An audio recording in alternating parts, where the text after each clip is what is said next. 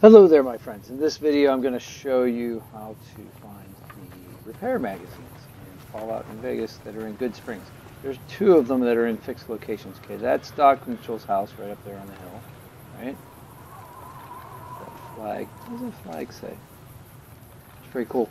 Um, anyway, we're going to run it down the street here and we're going to find this first house there. So basically, you start the game, you leave Doc Mitchell's, turn right, and then the first house on the left, going through the door, and right here, if you go to the bathroom, there's the bedroom, the bathroom's right here. Oh, it's an ensuite right there.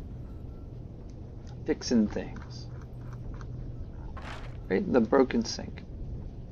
All right, so that's where the first one is. Now the second one is in the Prospector Saloon, if I remember correctly. So the Prospector Saloon, we want to go this way We can cut a diagonal here. But basically, you leave Doc Mitchell's house, and it's like most people see the general store, and they go to talk to Chet first, and then next door is the Prospector Saloon, hard to miss.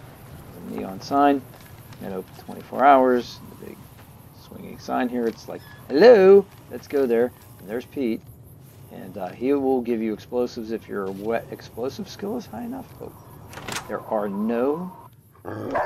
Oh wait, comes Sunny. Cheyenne, stay. All right. Yeah.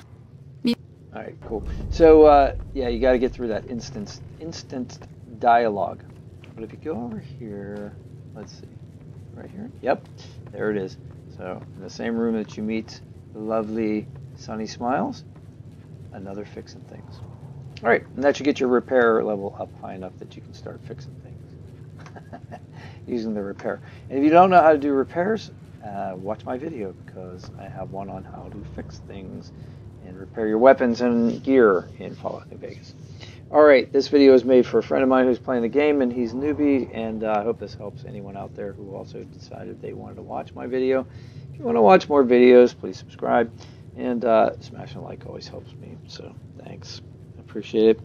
I'll talk to you guys if you leave me a comment and if you don't swear at me. All right. Talk to you soon. Take care.